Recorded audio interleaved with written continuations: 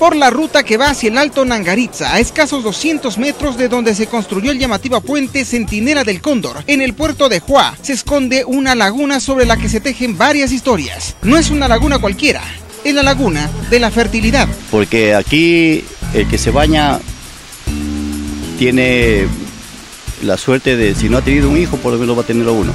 Pero nosotros garantizamos que sí se tiene tres. Mi hija se bañó aquí y tiene tres trillizos de un solo viaje. Este operador de turismo que lleva más de 30 años en la zona cuenta que las aguas que alimentan esta formación rocosa trae consigo una serie de elementos entre minerales y vegetales. Sus aguas no son tan cristalinas como uno quisiera, pero tampoco afectan a la salud de quienes la visitan. Aquí normalmente las cascadas nacen en estas tierras que son solo roca, se llama los tepuyes.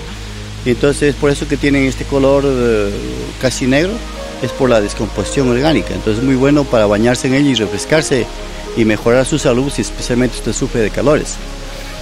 Entonces eh, nosotros trabajamos aquí en esta región, en el Alto Nangariza, estamos en el sector de Juá, y qué bien que han venido ustedes a visitar. Pues. Algunos habitantes Shuar confirmaron los poderes mágicos de esta laguna negra, cuyas aguas van a desembocar en el gran río Nangaritza. Para llegar a ella es preciso bordear una ladera. En canoa es un tanto difícil el acceso, pero si se anima, sus refrescantes aguas le dejarán una agradable sensación de frescura. Y algo más. Tenemos la cascada del vino de aquí a 20 minutos y en el cañón de, de, Miasi tenemos eh, las, cascadas del Libro y, se llega hasta el Chumbidiaza.